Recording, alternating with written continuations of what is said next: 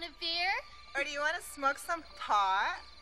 Or we can have premarital sex.